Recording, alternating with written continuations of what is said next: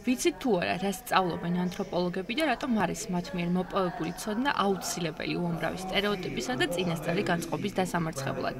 სწორედ იმისთვის, რომ ანთროპოლოგიას უკეთ გაუგოთ, ქართული სამეცნიერო სივრცე მნიშვნელოვან სიახლეს გვთავაზობს. ოსლოს უნივერსიტეტის პროფესორის ანთროპოლოგ თომას სილანდ ერიქსენის ერთგვარი სახელმძღვანელო. მცირე ადგილები ვრცელი საკითხები შესავალი სოციალურ და კულტურულ ანთროპოლოგიაში ჩვენს მშობლიურ ენაზე აჭარის განათლების, კულტურისა და სპორტის სამინისტროს მხარდაჭერით ითარგმნა. ციგნის პრეზენტაციას პროფესორი და ევროპის სოციალურ ანთროპოლოგთა ასოციაციის ყოფილი პრეზიდენტი თომას სილანდ ერიქსენი თავად ესწრებოდა. შეხვედრის შემდეგ ინტერვიუ რა თქმა უნდა ანთროპოლოგიისა და თანამედროვე სამყაროში მისი საჭიროების შესახებ ჩავწერეთ. როგორ ფიქრობთ, რატომ და ვისთვის არის მნიშვნელოვანი ანთროპოლოგიის საბაზისო ცოდნა? მე ვფიქრობ, რომ ანთროპოლოგიის მცირე დოზა მაინც ყველა ჩვენგანის ცხოვრებაში უნდა იყოს. ეს რა თქმა უნდა არნიშნავს იმას, რომ ანთროპოლოგია უნივერსიტეტში ვისწავლოთ. ეს ნიშნავს იმას, რომ ვიყოთ ცნობის მოყარები და გავიგოთ რა ხდება ჩვენს ირგვლივ. ასე აღმოვაჩენთ, რომ განსხვავებულობის მიუხედავად ყველანი ერთი კაცობრიობის ნაწილი ვართ და დღის ბოლოს იმაზეც დავფიქრდებით, რომ იქნებ სინამდვილეში სულაც არ ვართ ისეთი განსხვავებულები, როგორიც გგონია.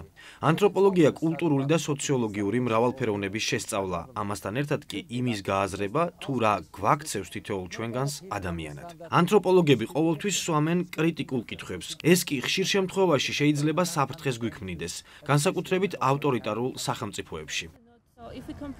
რა არის ძირითადი განსხვავებები ან მსგავსებები ჟურნალისტიკასა და ანთროპოლოგიას შორის? მსგავსება ნამდვილად ბევრია. ორივე სფეროს წარმომადგენლები სვამენ კითხვებს. ვცდილობთ ვიპოვოთ სიმართლე, ვცდილობთ ვიპოვოთ ფაქტები, რომელიც საზოგადოებამ უყურადღებოდ დატოვა. თავარი განსხვავება ალბათ ჟურნალისტების სამუშაო დროის სიმცირეა. როდესაც 90-იან წლებში ბოსნიის ომის ეპიცენტრში ვიყავი ჟურნალისტები წერდნენ და ამზადებდნენ სტატიებს, ინტერვიუებს, აკეთებდნენ ანალიზს და ეს ყველაფერი მეორე დღესვე იბეჭდებოდა. მაშინ როდესაც ანთროპოლოგებს მიზ მიზეზების გასაანალიზებლად ერთი ან იქნებ ორი წელიც დასჭირდეთ და იმ დროისთვის, როდესაც მათი ნაშრომი ბოლოს და ბოლოს გამოქვეყნდება, შეიძლება ყველაფერი ძალიან გვიან იყოს. თქვენს ციგნში ოჯახის შესახებაც საუბრობთ.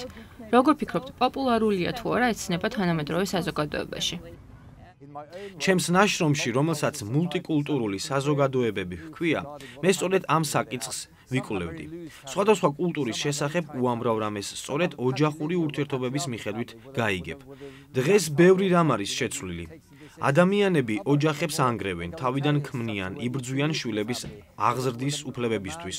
ყველაფერი იცვლება, თუმცა არც ისე რადიკალურად, როგორც ხალხს შეიძლება ეგონოს. ოჯახი დღემდე რჩება საზოგადოების ყველაზე სტაბილურ ნაწილად. ჩვენ გვაქვს გეი ქორწინებები, გვყავს მარტოხელადედები და მამები, ბავშვები, რომლებიც ორ სხვადასხვა სახლში იზრდებიან. ამ ყველაფერთან ერთად რჩება რაღაც, რაც ითვლება ნორმად, რაც ყველასთვის მისაღები შეიძლება აღმოჩნდეს.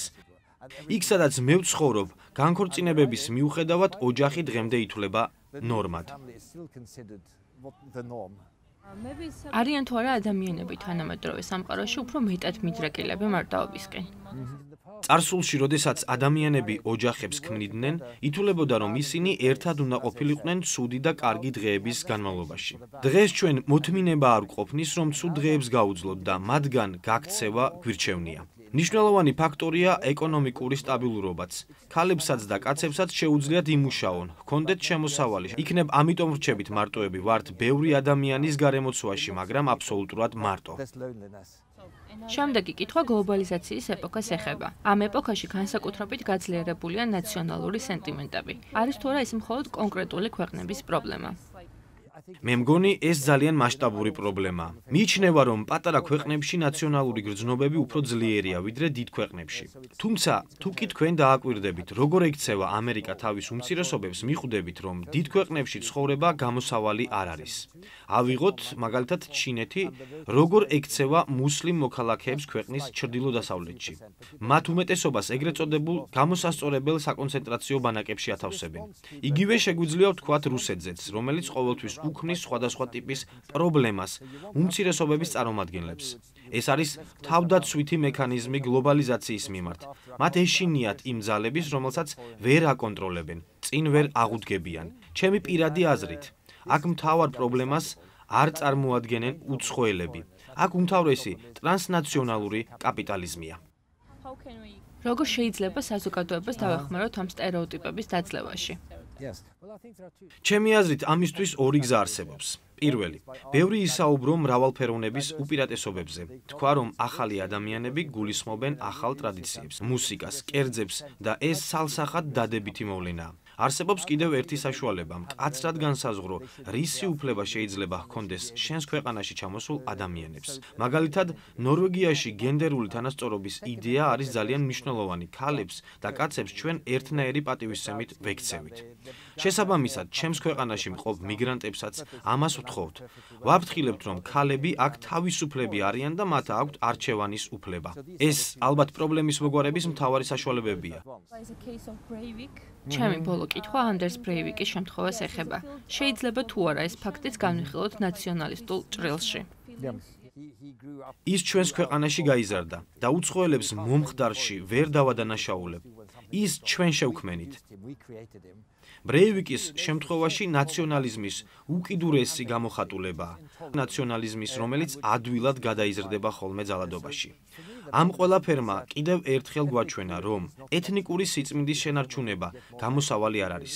პირიქით, ასე უფრო მეტ ბრეივიქს მივიღებთ. ჩვენ აუცილებლად უნდა ვიცხოვროთ ეთნიკურ მრავალფეროვნებაში.